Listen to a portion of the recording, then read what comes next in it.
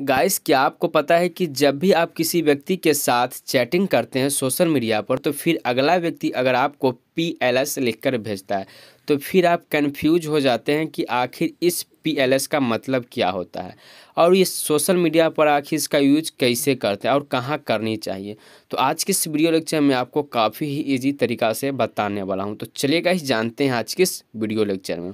Guys अगर बात करें कि आखिर पी एल एस का मतलब क्या है तो पी एल एस का फुल फॉर्म की अगर बात किया तो इसका फुल फॉर्म होता है प्लीज़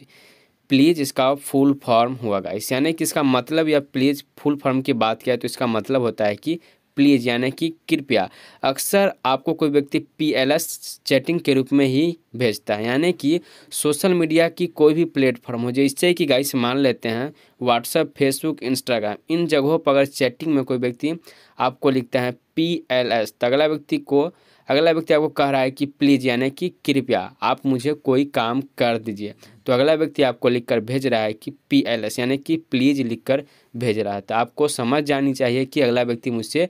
मदद लेना चाह रहा है, यानी कि कृपया कह रहा है, यानी कि मुझे कह रहा है कि प्लीज़ तो गाइस आपको यह चैटिंग पर विशेष ध्यान देनी चाहिए। गाइस अगर आप रिप्लाई से रिलेटेड वीडियो देखना चाहते हैं, जैसे कि गुड मॉर्निंग का रिप्लाई आई लाइक यू का रिप्लाई या कहे तो कैसे हो का रिप्लाई अगर ये रिप्लाई सब जानना चाहते हैं तो सब का लिंक मैं डिस्क्रिप्शन में दे दिया हूँ गाइस आप वहाँ से जाकर काफ़ी ही इजीली तरीका से देख सकते हैं। गाइस यदि आपको वीडियो पसंद आया होगा तो प्लीज़ आप मेरे यूट्यूब चैनल को लाइक और सब्सक्राइब ज़रूर कर दीजिएगा guys okay friends bye bye